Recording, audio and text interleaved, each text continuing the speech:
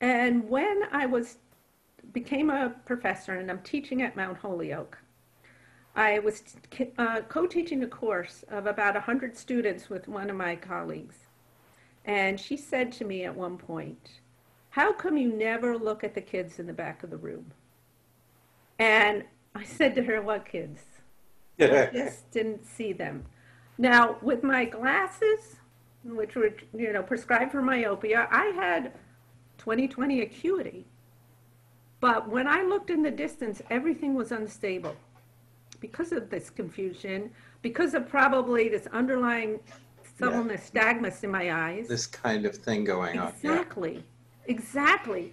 And I can remember like watching my kids on the school stage and noticing that all the faces were kind of, it was just, it was hard to look. It was hard to keep my eyes steady on things. And so my solution, you know, the biggest adaptation people have is avoidance. That's the biggest adaptation.